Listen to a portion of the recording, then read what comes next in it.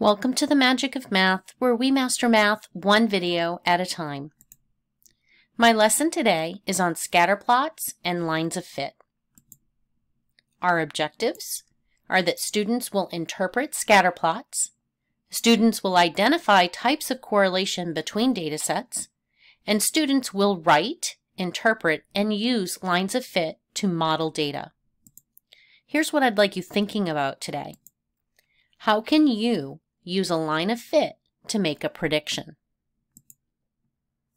So by definition, a scatter plot is a graph that shows the relationship between two sets of data. A scatter plot shows whether there is a correlation or relationship between the two data sets. A scatter plot shows whether there is a linear or nonlinear relationship between two data sets. And a scatter plot can be used to predict future or unrepresented outcomes in a scatter plot. Let's talk about the three types of correlation that you can observe in a scatter plot. So correlation is what describes the relationship between the two data sets. So our first graph here shows a positive correlation because as x is increasing, y is also increasing. So if you consider each one of these ordered pairs, these points, as the x value increases, the y value, so it's getting higher. As x, we move across the x, the y is bringing up the points. This second one is a negative correlation. As x is increasing, you can see that the y coordinate is decreasing. You can also make a connection. If I drew a trend line in here, this trend line would have a positive slope, and this trend line would have a negative slope. And then our third type of correlation is no correlation. You can see that all of these points are truly just scattered throughout the graph and that there is no pattern. And we call that no relationship between the x and y. We also could possibly have a trend in the data that is linear or nonlinear. Here we have a linear pattern because we could draw a line and show the trend of the data. So this is a linear trend. Over here, we have an arc or a curve to our data. So later on in Algebra 1, you will learn that this is a quadratic trend, and this is what we call nonlinear. Now let's practice reading a scatter plot. I took this from our state exam, and it represents students' heights and shoe sizes. So the two data sets that are represented in the scatter plot is we collected, somebody collected data and asked somebody their shoe size. All these students were asked their shoe size and their height. So the two sets of data are shoe size and height, noting that shoe size is the independent variable representing the domain and the height is the dependent variable representing the range. So the height right here is being shown to compare to the shoe size and we're trying to determine if there is a relationship between shoe size and height. Can we say that the height is dependent on the shoe size? So what happens to the height as the shoe sizes increases? So we look and we can see that the height is increasing as the shoe size increases. So I've drawn a trend line in here to show that this data is trending as X is increasing, Y is increasing. So as the shoe size increases, the height increases. The height of a student with a shoe size of 5. What is that height? So we're going to go over to 6.5 on our graph, and we can see that this is increasing by intervals of 1 half. So we go up to our data point and we go over to the y-axis and it shows us that a shoe size of six and a half is somebody that is 63 inches tall. So that's how you read that. And then what is the shoe size of a student with a height of 65 inches? So we're going to go to 65 inches on our graph, go over to our data point and down to our x-axis and determine that the shoe size would be eight and a half. So this is how you read and interpret a scatter plot.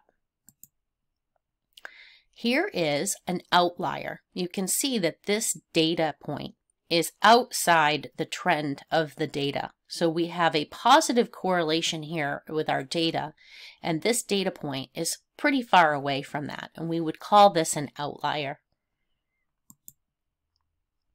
Now let's talk about line of fit. A line of fit can be drawn close to fit most of the data points when a scatter plot does not display no correlation between the data sets.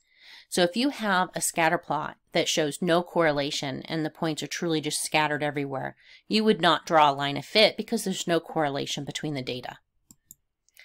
The line is sometimes referred to as a trend line, seeing as it's trending with the data. We can write the equation of a line of fit and use it to make predictions about data outside the collected data set. So let's practice writing an equation of a line of fit. First, we're going to learn the steps. Step one, if necessary, make a scatter plot of the data. So you might not be given the graph of the scatter plot. You might be given the data and need to graph it. Step two, determine if the data can be represented by a linear function. If you can, step three is to draw a line on the graph that fits the data, or trending with the data. You do not need to draw a line through any of the specific data points on your graph, and there should be as many points above your line as below the line. And the last, identify two points on your line. These may not be data points. They could be, but they don't need to be. So now that you have two points, you can write the equation. As we've learned in our previous lessons in this uh, unit, that you could find the slope and then use point slope or slope-intercept form to write the equation of the line. So here we are. We're going to draw a line of fit. Here's my line of fit. You can see I ignore the outlier. And here it is, and I've drawn my line, and I have one, two, three points above it, and one, two, three points below it. So now I'm going to identify two points on my line. Here's one, 561 is that ordered pair. And then I'm going to use this point right here, which is 8.5, 65. So I've identified two points. Notice my two points are on my line my trend line or my line of fit. Now let's find our slope. 65 subtract 61, our change in y, over 8.5 subtract 5, our change in x, which gives me 4 over 3.5.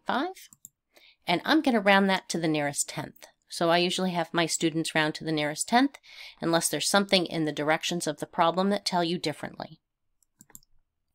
Now I'm going to put this in slope-intercept form. So I replace my m, my slope, with 1.1. And I'm going to use this point right here. When x is 5, y needs to be 61. So I'm going to use slope-intercept form to solve for b. You could have also written this in point slope and solved for y. When I multiply, I get 5.5. And now let's subtract 5.5 from each side, giving me a y-intercept b of 55.5. So now we can go back and plug that in. And here's the equation in slope-intercept form of my line of fit. Now here I brought our line forward and I still have my trend line on our graph. I'm being asked to now interpret the slope and the y-intercept of our line of fit. So our slope is 1.1. Remember this is a rate. So what it's stating is, as my height increases by 1.1 inches, the shoe size increases by 1. So if I look at this, as my height increases by 1.1, my shoe size increases by 1. So that's where we're going here with our slope. And then we have our y-intercept, and in this case, in this problem, it's actually irrelevant.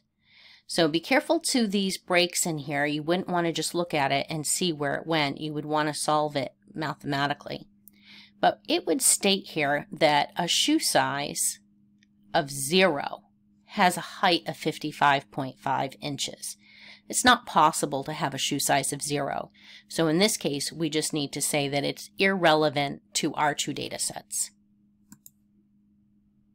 Now we're going to use our line of fit to predict. We're asked to predict the height of a student with a shoe size of 10. So our shoe size is our x, our input. So we're going to replace x with the value 10 and solve for y. When we multiply 1.1 times 10, we get 11. and we add our 55 and a half inches. That gives us a result that when we have a shoe size of 10, we should have a height of 66 and a half inches. So let's go check. So if I extend my trend line out, I go to 66.5 over to my trend line, and I have to extend my graph out, and it would come down to be 10 as a shoe size. So you can see, using my trend line, this makes sense. So 66 and a half inches is what I can predict that someone with a shoe size of 10 would have for height. Now it's your turn. Here's another example I've taken from our state assessment. And it's already graphed for you, and actually the trend line is even graphed for you because every student in a class could have a slightly little bit different trend line. And for this video purpose, I wanted us all to have the same answers. So I provided the trend line and the graph. I want you to pause the video and based on the trend line, determine what is the salary of salesperson after three years of employment. Please pause now and come back when you're ready. Welcome back. So we go to three years of employment on our graph, go up to our trend line and over to our Y, and we can determine that after three years of employment, a salesperson at Company Z would be making $40,000 a year. Now I'd like you to pause the video and determine what the slope of the line of fit is and also interpret it. Please pause and come back when you're ready to check. Welcome back. So I identify this one point first that they gave us, a specific point. I'm going to use that as one. And then the second point I'm going to use, you could have used any point and you should come up with the same answer as I do. I'm going to use this point, which is 7, 50,000. So 7 and 50,000. So we're going to 55,000 subtract 50,000 is my change in my y. All over 9 subtract 7, my change in x and that's 5,000 over 2, which gives me a slope of 2,500. Now we're going to interpret this, and the slope is a rate. So a salesperson's salary increases at a rate of $2,500 per year of employment.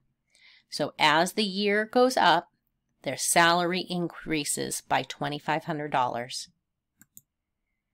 All right, now you're going to write an equation for the line of fit in slope-intercept form. And after you do that, interpret the y-intercept of that equation. Please pause now and come back when you're done. Welcome back. So we had found our slope, which I can put in here, of $2,500.